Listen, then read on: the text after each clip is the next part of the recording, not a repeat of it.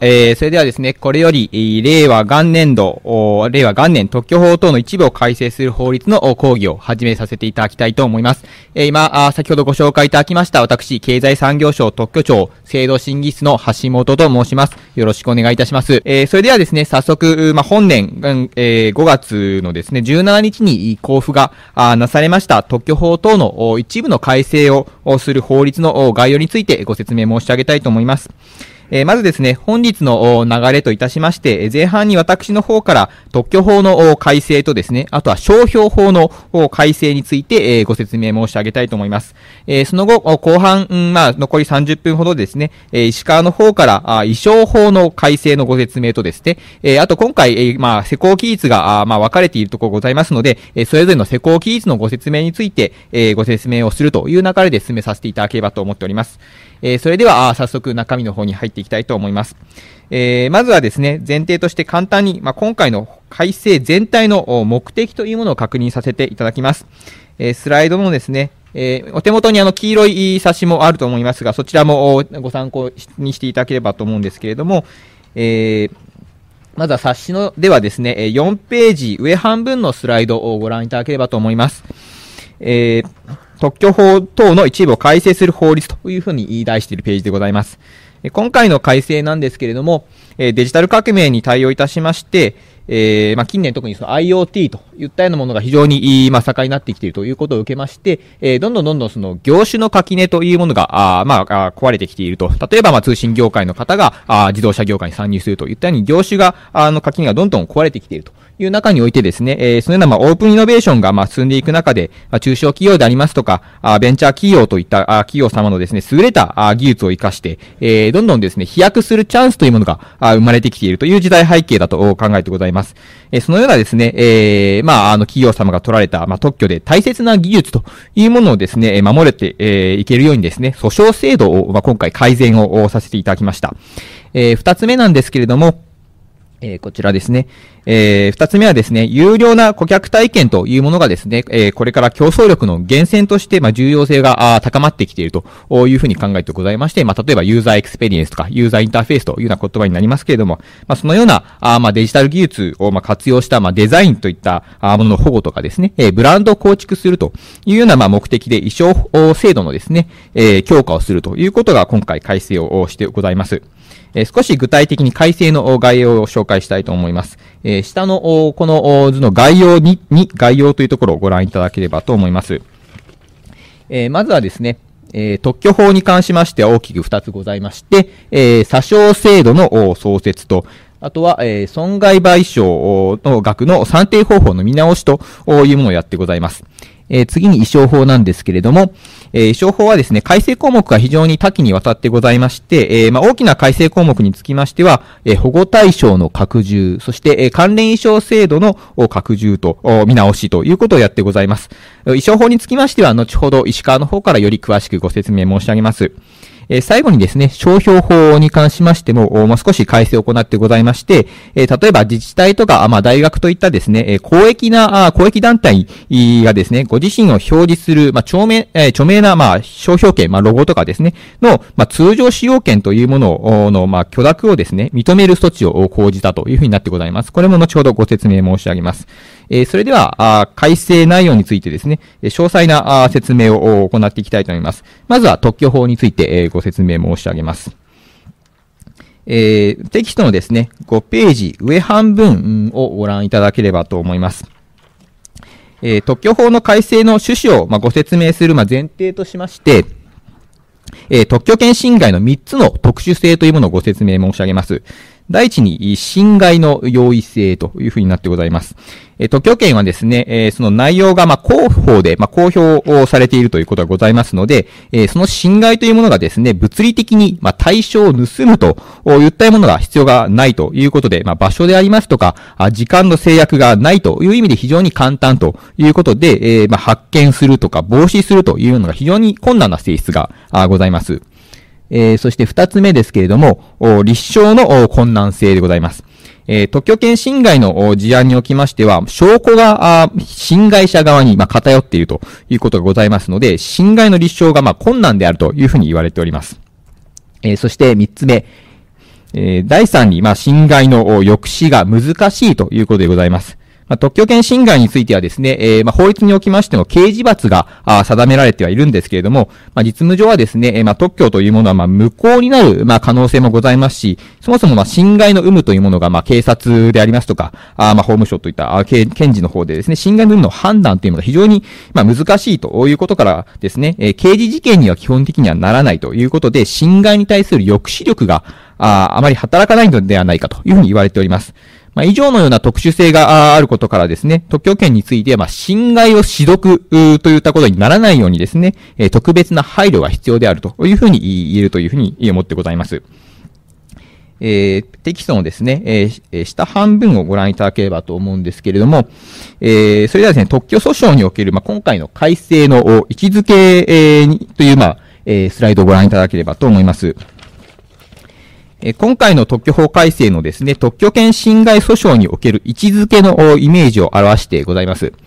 え特許権侵害訴訟ではですね、まず、まあ、損害賠償の前提となる侵害の有無の審理。が、まあ、行われまして、え、審理があ尽くされますと、今度はですね、裁判所はまあ合議の上で、次のステージである、損害額の審理に入るという、まあ、2段階のですね、審理方式が採用されているというふうになっているんですけれども、この各段階における位置づけのイメージを表した図になっております。えこのうちですね、侵害の有無に、有無の審理に関わる改正が、あここのですね、え証拠収集手続きの強化としての詐称制度というものでございまして、えこちらのですね、え損害額の審理に関わる改正が、損害賠償算定方法についての改正というのが大まかな整理となっております。えまずは一つ目のですね、詐称制度の方からご説明申し上げたいと思います。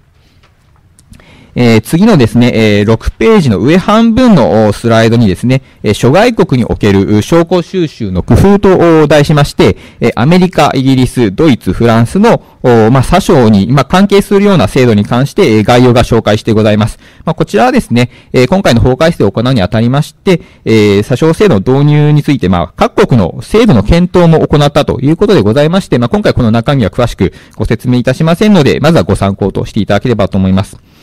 えー、そこでですね、えー、次に現行の証拠収集手続きと詐称制度と題数ですね、7ページ上半分のスライドに進め、えー、進ませていただきます。えこれまでもですね、え証拠を、え特許権の侵害訴訟における、まあ、侵害の立証のための証拠収集の手段といたしまして、え書類提出命令でありますとか、検証物提示命令といったようなものがございました。え、しかしながらですね、え、近年、まあ、非常に技術が発展してきているということでですね、まあ、方法の特許についても、まあ、非常に高度な、え、製造技術を用いるものが、ま、増えてきているということで、ま、こうした方法の特許につきましては、え、書類の提出命令によって提出された文書でありますとか、もしくは検証物提示命令によって、え、ま、提示をされた、ま、検証物だけではですね、なかなか侵害を立証するということは難しいというような声をいただいてございました。えー、またですね、例えば、えっ、と、ソフトウェアの特許をめぐる、まあ、侵害訴訟におきましては、えー、製品そのものでのですね、えー、まあ、調査だけではですね、侵害の有無を、まあ、特定するというのは非常に難しいということでなく、えー、でございまして、その製品自身のですね、プログラムの、まあ、ソースコードまで、えー、辿る必要があるというふうになってございます。まあ、しかしながらですね、そのソースコード自身は非常に改変が、あまあ、要するに商品として提出されたものも、その中のソースコードの、改変が非常に簡単だということとですね、あとは非常にその膨大な量に渡るということで、まあ、単純にこれがまあ、証拠として、えー、任意に提出がなされまして、えー、またはその、えー、書類提出命令の結果としてですね、えー、提出がなされたとしてもですね、特許権侵害の有無を、まあ、裁判所が判断するということが、まあ、非常に難しいと言われております。えまたですね、あの、書類提出命令と言いますのは、まあ、既存に、まあ、すでに存在する文書の提出を命じるものということでございますので、まあ、そもそも文書がま存在しない場合は、ま、提出ができないというふうになってますので、え対応はできないということでございます。ま、そこでですね、今回、え裁判所がま選びました、中立公正なえー、専門家がですね、え、被告の施設に立ち入りまして、必要な調査を行うという、まあ、詐称制度というものを導入いたしました。このような経緯で、導入した詐称制度なんですけれども、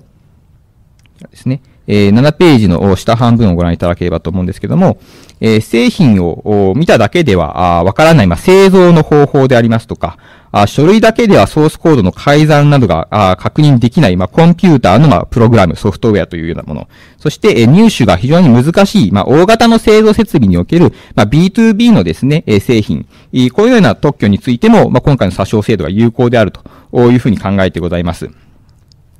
えこの専門家が証拠収集を行う詐称制度と、の創設体制、まあ、このスライドですけれども、え詐称制度の利用が想定される典型例として、まあ、今申し上げました、あ製造方法、あと B2B 製品、そしてソフトウェアの3つというものが挙げているということでございます。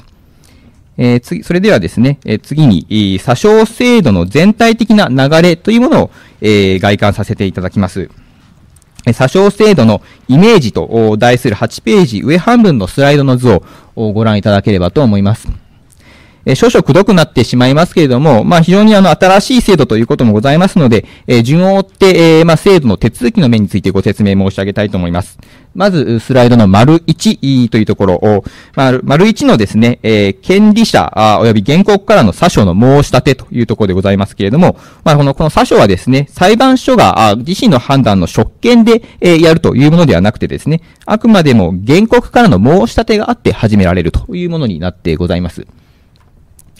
えー、それでですね、この、まあ、申し立てなんですけれども、図の丸2でございますけれども、えー、被疑者、あ被疑侵害者、被告の側に、まあ、これについて意見陳述の機会というものがございます。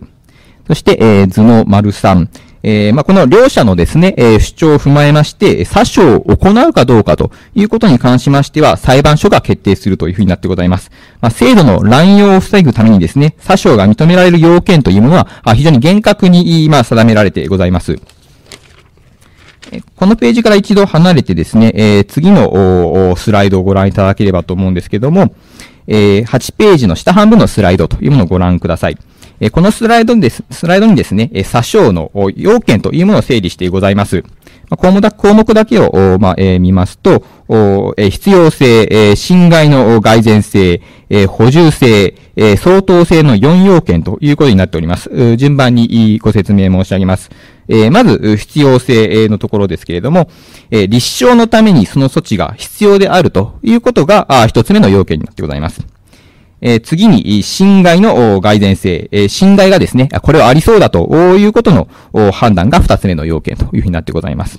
え、次に、補充性、え、つまり他の手段ではですね、証拠収集を行うことができないということが認められるかどうかということが要件です。そして、え、最後の四つ目、え、相当性です。えこれまでのですね、この3つの要件、今までの3つの要件を満たす場合であってもですね、証拠収集に要すべき時間でありますとか、この詐称を受けるべき、まあ、当事者の負担が、え、負担がですね、非常に、まあ、不相応なものになると、もしくはそういうような、えー、その他の事情が、まあ、あるような場合については、まあ、詐称を行うことができないというものになっております。まあ、例えばその詐称を行うことによってですね、工場の設備を、まあ、非常に長い時間止めてしまうといったようなことで、まあ、例えば経済的な損失が非常に大きいといったような、まあ、場合も考えられるというふうに考えてございます。この相当性の4件につきましては、詐称を申し出られた、相手方、被疑侵害者側がですね、主張すべき申し立て企画自由という位置づけになってございます。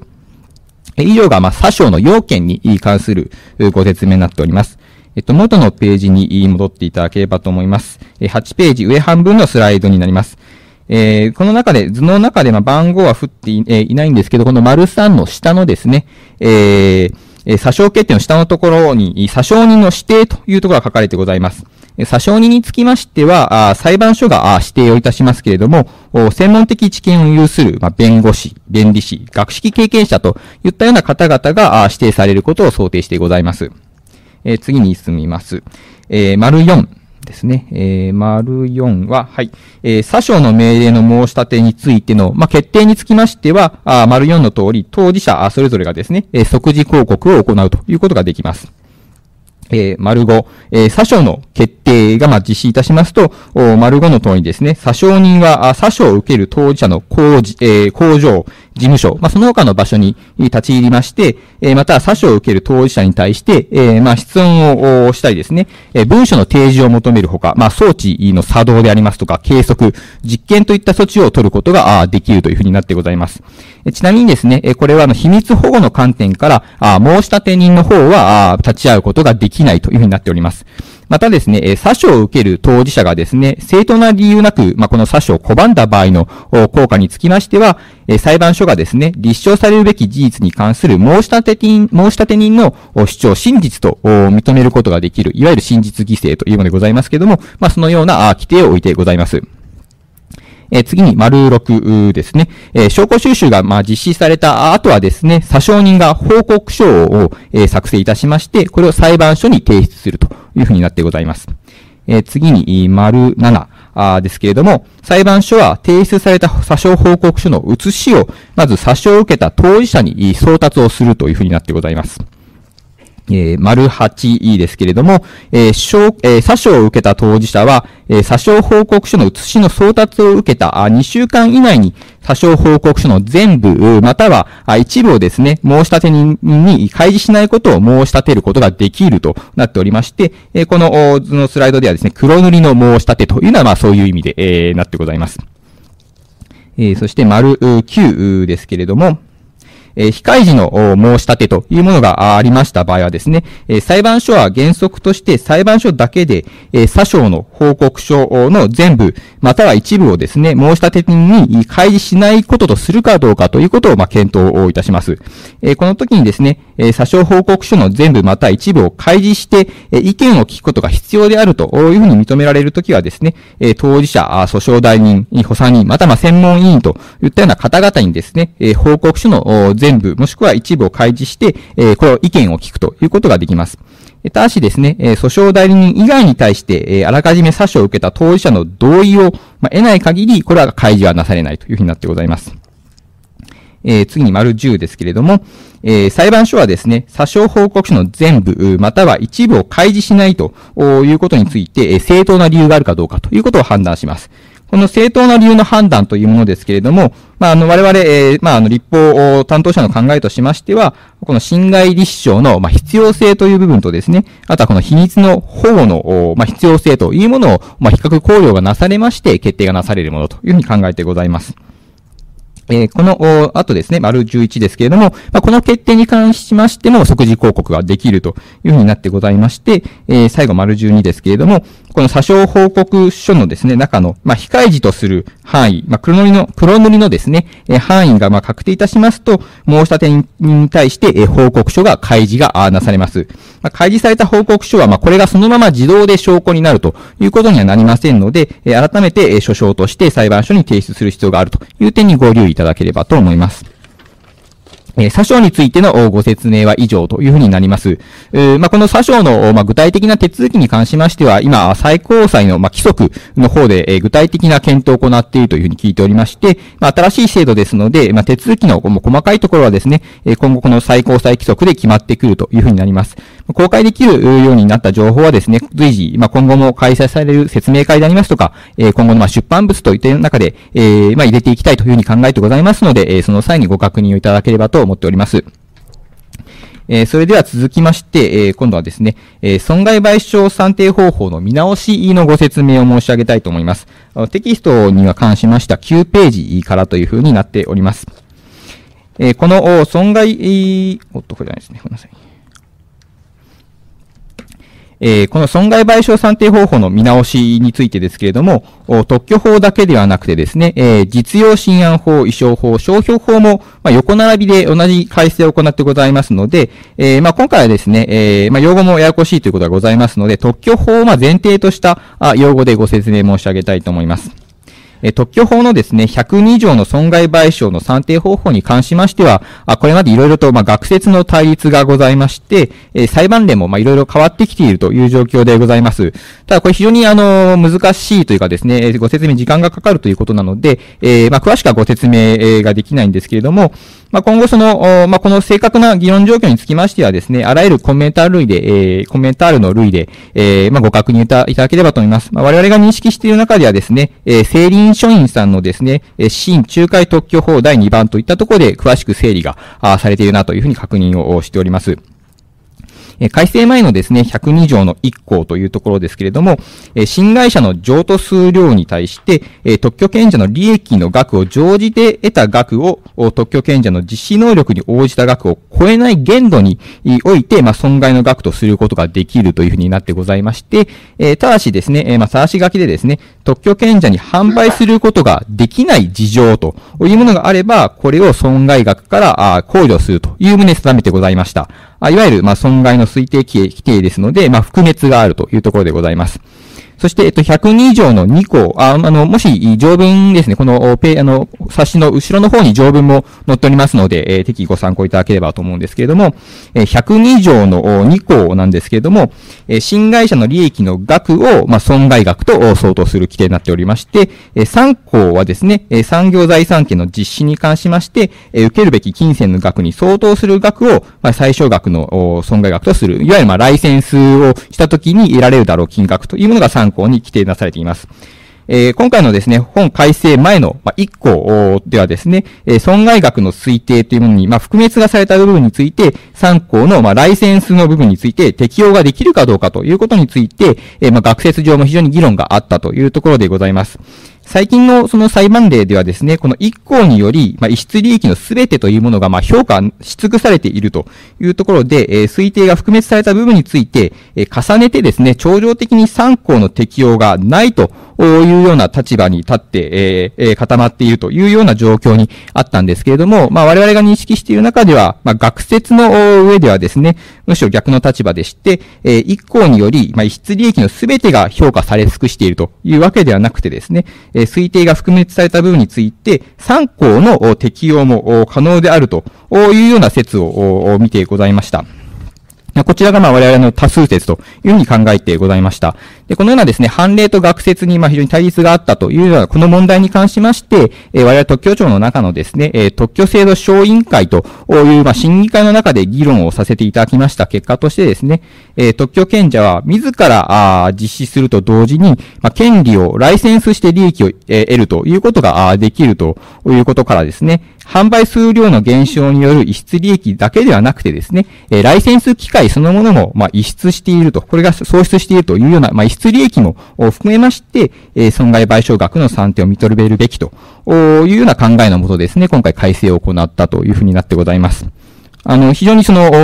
あの、複雑なご説明になってしまって申し訳ないんですけども、まあ、シンプルに申し上げますと、この、えテキスト9ページのこの下半分のスライドですけれども、えー、ライセンス料相当額と書いてある、まあ、ここの部分がですね、今回1項の中で、えー、これも損害として認められることを明らかにするといったような法改正をさせていただいたということでございます。またはですね、このライセンス料相当額というものが、どんな場合でも認められるというわけではなくてですね、えー、この、まあ、条文を必要に応じてご覧いただければと思いますが、まあ、102条第1項の、まあ、あの、えー、改正後の条文を見ていただければと思うんですが、まあ、2号、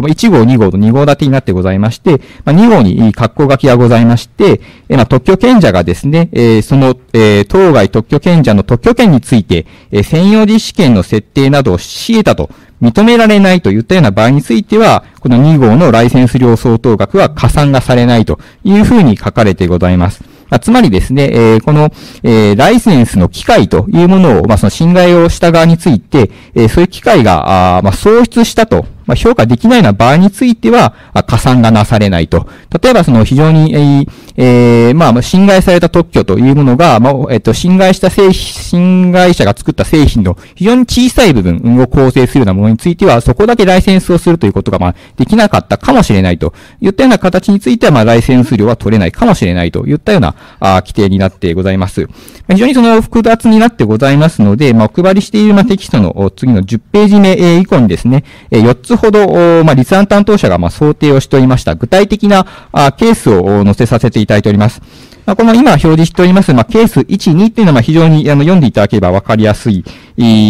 ところだと思うんですけれども、まあ、一方で、えー、ケースの3、4というのは非常にちょっと複雑な部分になっておりますので、これについてはですね、まあ、いろいろな、あまだ考え方がああり得るというところでございますが、まあ、一応その立案の、まあ、担当者としましては、まあ、このように考えられるのではないかというふうにお示しをしたところです。具体的にどう判断されるかというのは、えー、裁判所の方でですね、最後判断されるものというふうに考えております。まあ、こちらちょっと非常に複雑のですので、えー、すいませんけれども、時間の関係でまずは飛ばさせていただければと思いますので、後ほどご確認をいただければと思います。え、続きましてですね、え、11ページ上半分のスライドをご覧いただければと思います。え、損害賠償額算定方法の見直しに関しましては、もう一つ、ライセンス料相当額による損害賠償の算定にあたりまして、え、特許権侵害があったということを、ま、前提に交渉した場合に、まあ、決まるであろう額を考慮できる旨を明記したというような法改正を行っております。まあ、通常のそのライセンス交渉ではですね、対象となる特許権の有効性というものが、ま、確定をしないといったような状態で、ま、ライセンス料が決まるというふうになってございますけれども、まあ、一方ではですね、えー、まあ、その侵害をされた、あ後の訴訟になっているという状況ではですね、まずその裁判ではその有効な特許であるということが、まあ、認定をされていまして、その上で、えー、まあ、損害が計算されるということになるはずということでございます。なので、えー、まあ、特許権者にとりましては、まあ、通常のライセンス、ね、ライセンスですと、まあ、その方にライセンスをするかしないかというような自由が、あ特許権者にあるわけですけれども、まあ、この侵害された場合はですね、えー、まあ、特許権者にとっては、無断で特許を使われたというところで、ライセンスをするかどうかというような判断が、あまあ、の機会がですね、奪われたということになります。まあ、こうしたような、まあ、事情を考慮いたしまして、えー、ライセンス料につきましては、侵害があったということを前提として、まあ、この、当該特許権でありますとか、あ専用実施権を、侵害した者との間で、まあ、合意をするとするならばですね、えー、当該特許権者、または専用実施権者が得ることとなる、対価を考慮することができる。まあ、つまるところですね、えー、通常の、まあ、ライセンス料よりも、まあ、高く設定できるんじゃないかというような、まあ、損害賠償額の算定の基礎を、えー、少し高くできるんじゃないかというような法改正というふうになってございます。まあ、この考慮要素といたしまして、えー、まあ、特許権侵害の、ま事実があるかどうか、えー、特許権者の許諾機会が、ま創出されたかどうか、えー、侵害者が、契約上の制約なく、えっと、ですね。あ、これですね。ごめんなさい。えっと、この右側に書いてございますけども、えー、特許、えー、新会社が、あ契約上の制約なく、うまあ、実施金を、特許権を実施したこと、おそして、えー、訴訟当事者間の具体的事情といったようなものが、あ考慮要素として入ってくるというふうに言われてございます。え、特許につきましては、え、ご説明以上となりまして、えっと、これより石川の、えー、遺書の説明に、入る前にですね、少し私からですね、商標法の改正の内容についても少し、触れさせていただきたいと思います。ページが少し飛んでしまいまして、え、恐縮なんですけれども、え、テキストでは22ページ目まで飛んでいただければと思います。はい、えー、22ページ目以降ということになります。えー、商標法の改正事項というものは、2つございます。えー、1つ目はですね、えー、まあ、自治体とか、まあ、大学といった、あまあ、機関の、まあ、いわゆる公益団体のですね、まあ、公益な著名商標の通常使用権の許諾制限の撤廃というようなあ改正を行ってございます。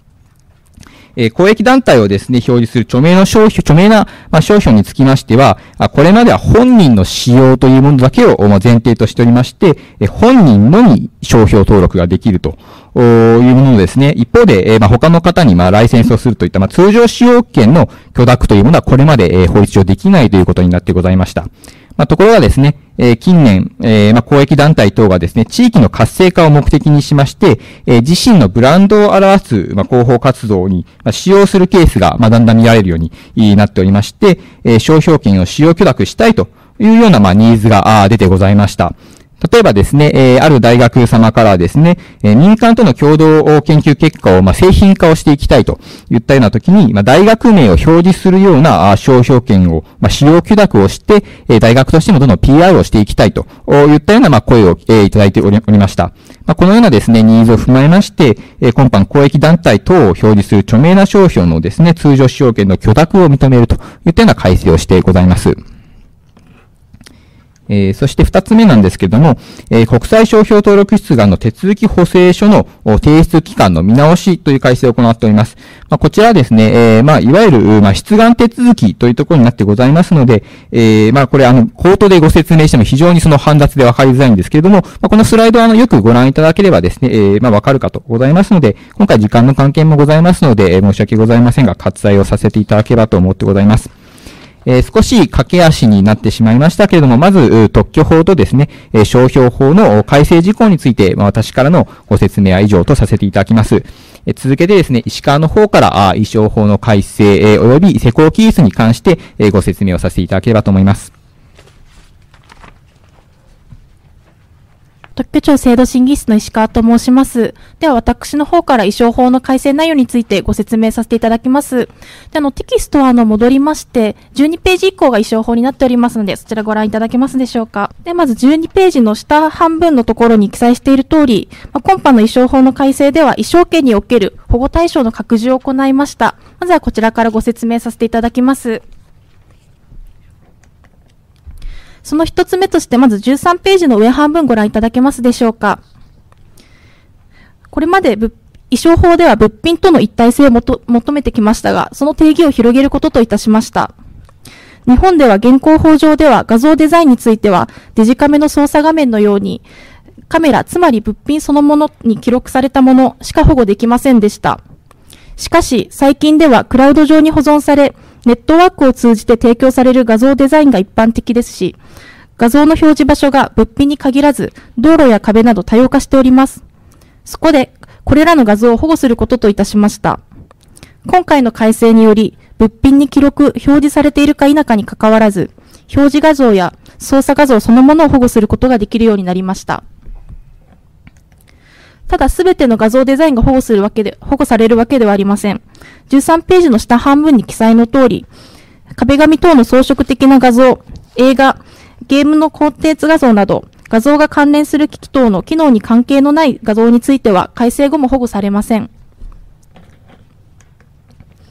続きまして14ページの上半分をご覧ください。衣装権における保護対象の拡充の2つ目として、建築物や内装デザインを保護することといたしました。最近は何でも大抵のものはネットで買えるようになりましたので、お客様にお店に足を運んでいただくために、特別な体験を味わえるようにして、お店に来たらブランドをもっと好きになっていただけるように、ということで、店舗デザインに工夫を凝らす例が増えております。そこで日本においても建築物や内装デザインを保護することといたしました。14ページの下半分をご覧ください。内装に関しましては、現行法では、複数の物品、例えばテーブルや椅子や照明器具などがございます。また、建築物、例えば壁や床の装飾等です。こちらから構成される内装のデザインは、一衣装一出願の要件を満たさないため、衣装登録を受けることができません。改正後は複数の物品や建築物、また画像から構成される内装のデザインについて、内装全体として統一的な美化を起こさせるという要件を満たす場合に限って、一衣装として衣装登録を受けることができるようになります。次に関連衣装制度の拡充について15ページ以降でご説明いたします。まずは15ページの下半分をご覧ください。と皆様ご承知かと思うんですけども、現行制度についてまずあの簡単にご説明いたします。衣装法においては、同一または類似の衣装について2以上の出願が競合した場合、先に出願したものもののみに衣装権を与える洗顔主義をとっており、同一、類似の衣装について権利権の重複を認めておりません。その例外として、関連衣装制度がございます。関連衣装制度は、同一出願人によるバリエーションの衣装群を保護するため、類似関係にある衣装のうちの一つを本衣装とし、他の、他をその関連衣装として登録を受けることができる制度のことです。ただこちらの非常に厳しい制約がございまして、改正前ですとその出願期間は本衣装の衣装候補発行日から発行日までとなっており、実際には本衣装を出願してから約8ヶ月程度に限られておりました。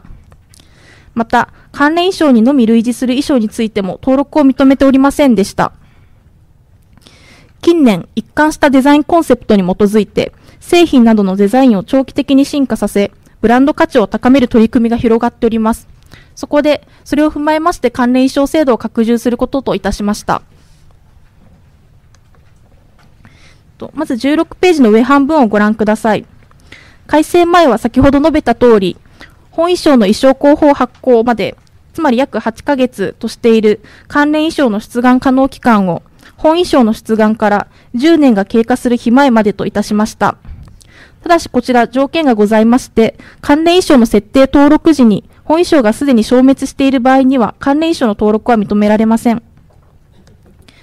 続きまして16ページの下半分をご覧ください。関連衣装にのみ類似する衣装についても、最初の本衣装の出願から10年が経過する日前までの出願であれば、登録を認めることといたしました。こちらの関連衣装制度を創設した平成10年と当時には、類似の無限連鎖を避けるため、関連衣装にのみ類似する衣装は登録できないという整理をしておりました。しかし近年、先ほども述べた通り、一つのデザインコンセプトを長期にわたって進化させていく手法が広まっていること、また画像検索技術の発達により、クリアランス負担が、クリアランスが容易になったことを踏まえまして、今回、関連衣装にのみ類似する関連衣装についても保護できることといたしました。ただこちらも要件がございまして、こちらの下の図で示している通り、本衣装に類似せず、関連衣装 A にのみ類似する関連衣装 B につきまして、こちら、その前の関連衣装 A が存続していないと登録を認めません。なお、この関連衣装 A が存続していれば、最初、一番最初に出願した本衣装が存続しているか否かには関わら、関わらず登録を認めることとしております。では、その他衣装法に改正、関する改正事項いくつかございますので、そちらについても説明させていただきます。17ページの下半分をご覧ください。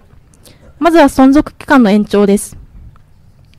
改正前は衣装権の存続期間の満了日は設定登録の日から20年でした。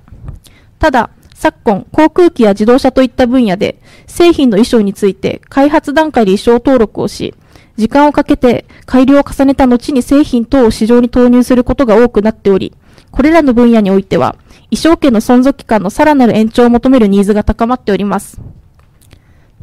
また、今回の法改正の柱にもございますが、企業特有のデザインコンセプトの開発を支援し、ブランド価値の向上を保護する観点からは、より長い衣装権の存続期間を設定することが望ましいと考えました。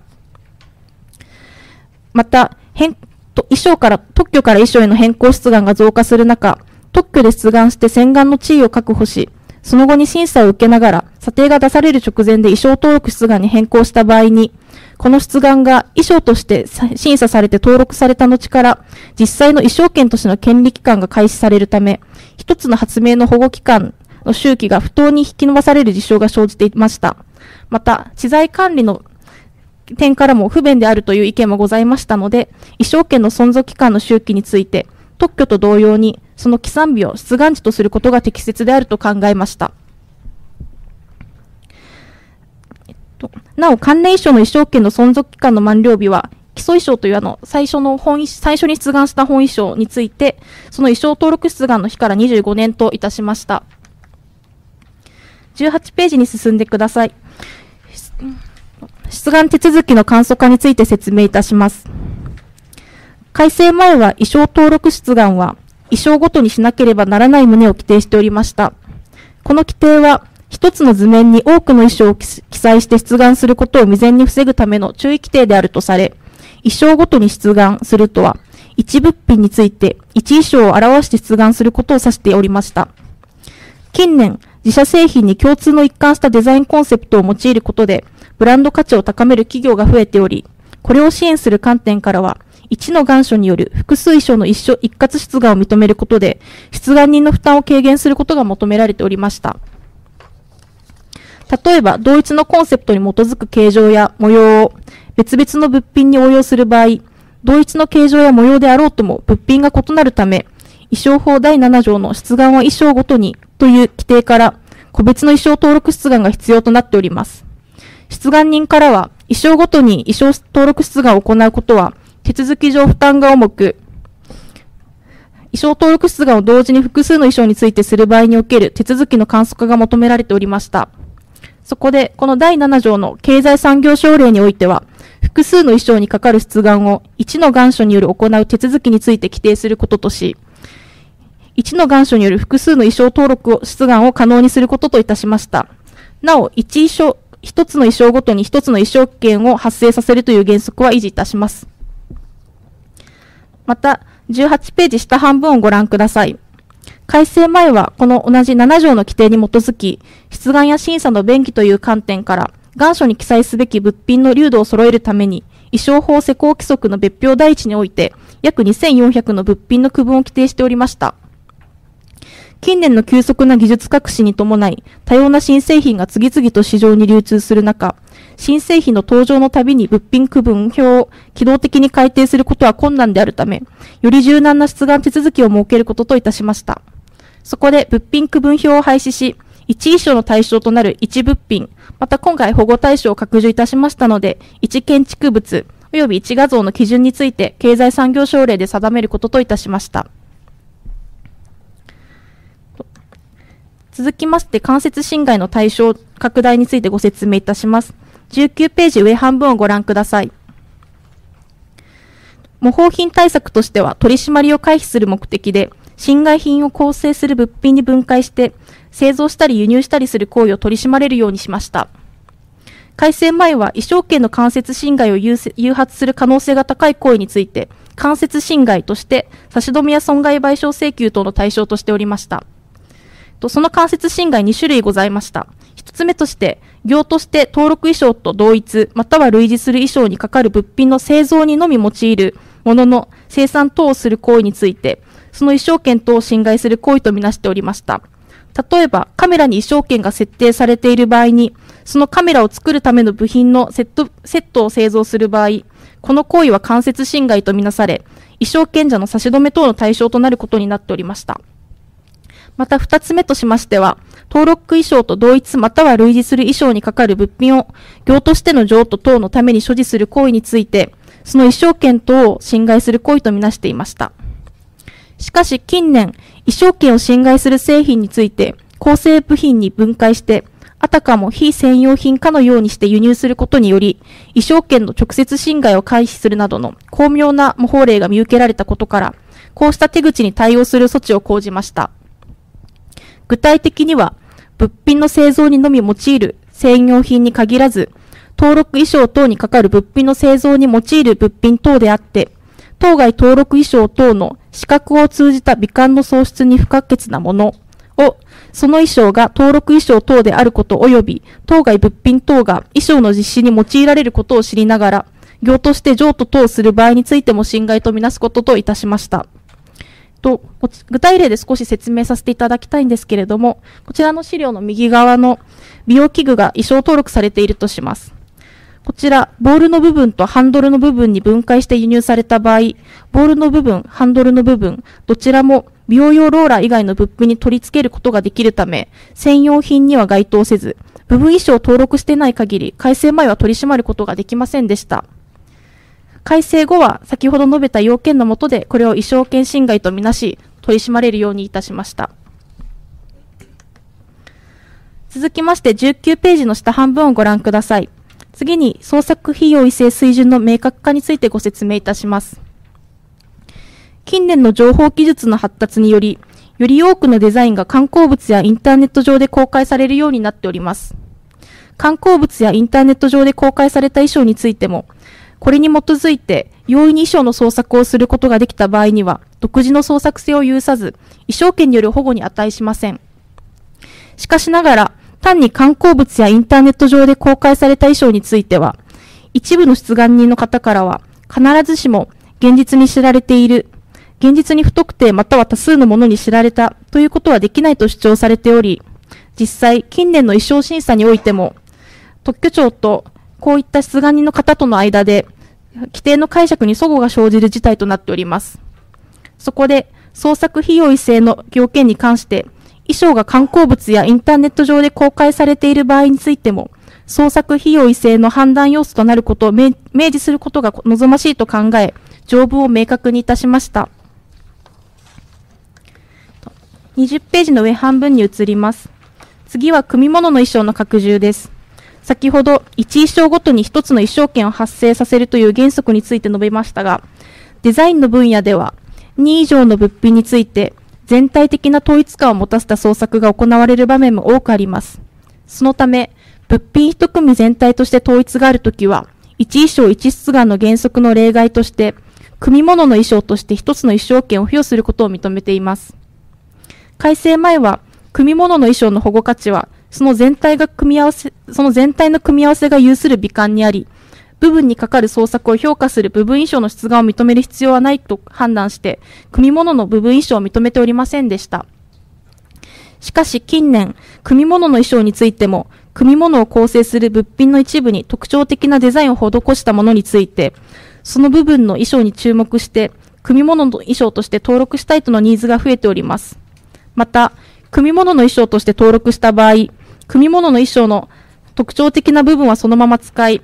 他の部分の形状等を変更した模倣品を他社が販売した場合、組物の衣装等は全体として形状が異なるため、組物衣装衣装権によってこれを排除することができない可能性があります。このような場合では、個別に部分衣装登録をすれば良いようにも思われますが、組物を構成する物品一つ一つについて衣装登録が必要となるため、権利取得及び維持のための費用負担が過大なものとなってしまいます。そこで、組物の衣装についても部分衣装の登録を認めることといたしました。次に20ページの下半分をご覧ください。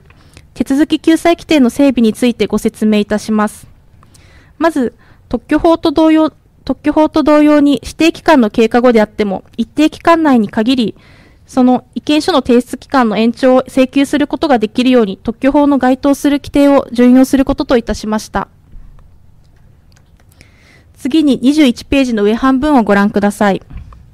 こちらもまた特許法と同様に、パリ条約の例による優先権主張を措置すべく、該当する特許法の規定を衣装法において順用することといたしました。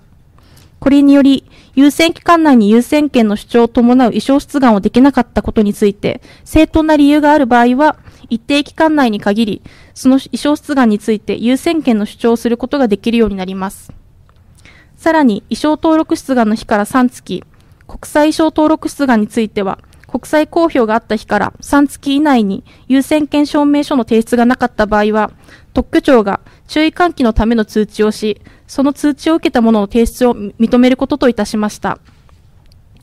以上をもちまして、衣装法の改正の概要の説明を終えさせていただきますが、最後に改正法全体の施行期日につきましてご説明いたします。とページが飛びまして、23ページをご覧ください。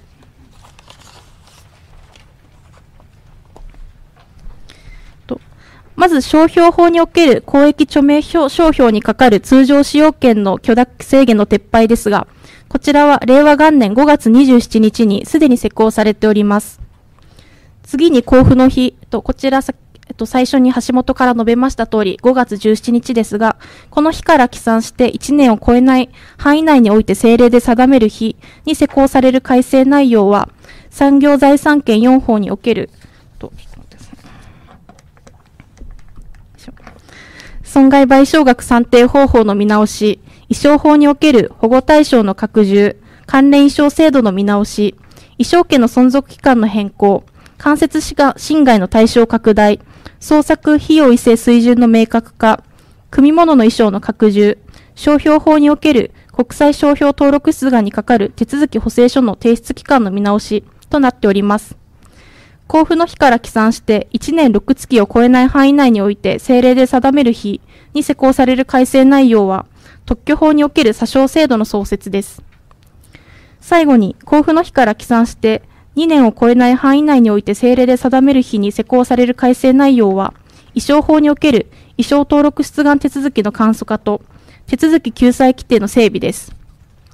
こちらの3つの政令で定める日につきましては、政令まだすべてあの交付されていないんですけれども、交付されましたら特許庁のホームページに掲載されますので、情報を確認いただければと思います。